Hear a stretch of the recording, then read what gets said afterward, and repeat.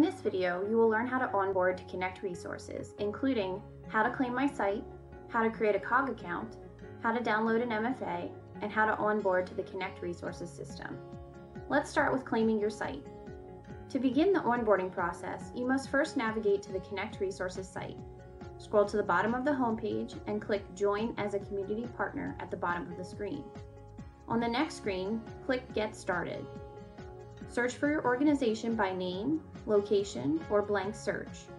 If your organization does not appear in the search results, it means your organization is not listed with 211. In this case, please call 211. Once you find your organization, click Select. Here, you will enter your contact information and select Continue to submit your site claim request.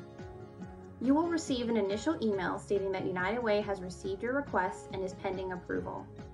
If your request is approved by the United Way, you will receive a second email confirmation with instructions and a link to register with the Kentucky Online Gateway, also known as KOG. In order to access a variety of systems across the Commonwealth, including kynect resources, you must create an account with the Kentucky Online Gateway, also known as KOG. Please note if you already have a KOG account, you can log into Connect Resources with those credentials and do not need to create a new account. For example, if you already have an account in kynect Benefits, you already have a KOG account and can use those credentials to log in. From the second email, copy and paste the KOG link into a Google Chrome tab. You are now brought to the registration screen where you are required to fill in all fields marked with a red asterisk. First, enter your first and last name as they appear on your Social Security card. Then, enter your email address.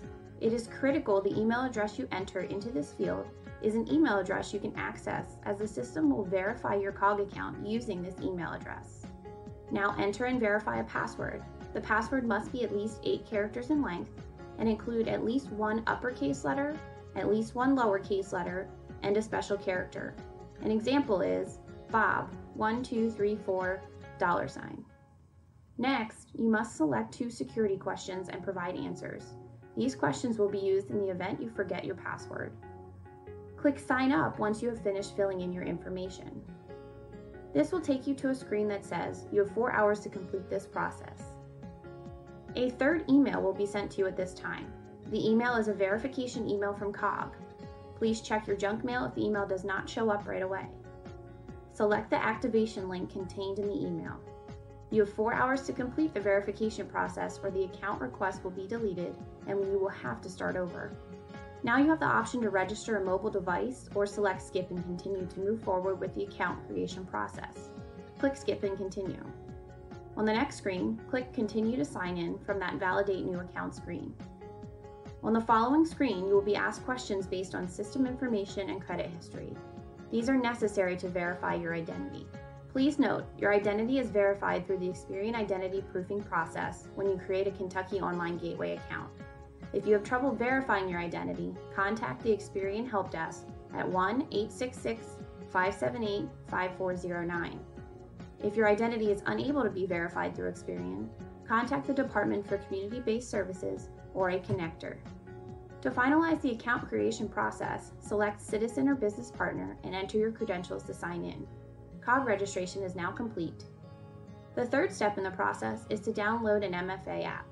This VIP Access app is another layer of security to ensure that kynect Resources is keeping the privacy and security of community partners and residents to the highest of standards.